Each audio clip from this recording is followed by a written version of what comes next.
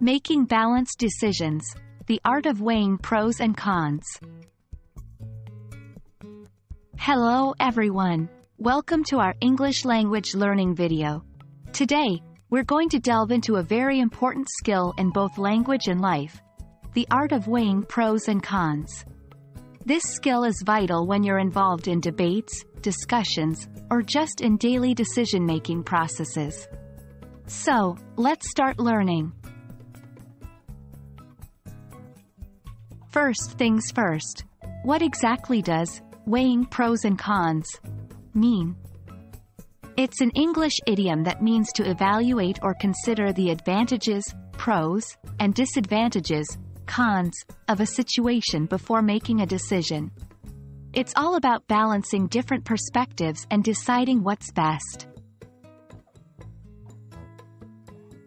The process of weighing pros and cons is critical in decision-making. It helps to ensure a more balanced and informed decision. If we rush into a decision without considering the pros and cons, we might miss out on crucial information that could lead to negative consequences. Key reasons to weigh pros and cons. 1. Broadens perspective. Considering both sides of an issue allows us to understand different viewpoints. It expands our thinking and enables us to make more thoughtful decisions. 2. Minimizes bias. It helps us overcome our personal biases by forcing us to look at the situation from all angles. 3. Risk management. By looking at the potential downsides, cons, of a decision, we can better understand and manage potential risks. 4. Problem solving. It aids in problem solving by helping us identify the best possible solution. It's one thing to understand the importance of weighing pros and cons, but it's another to know how to do it effectively. Here are some steps to guide you through the process. 1. Identify the decision, Clearly state what decision you need to make. 2. List the pros. Write down all the possible advantages or benefits of the decision. 3. List the cons.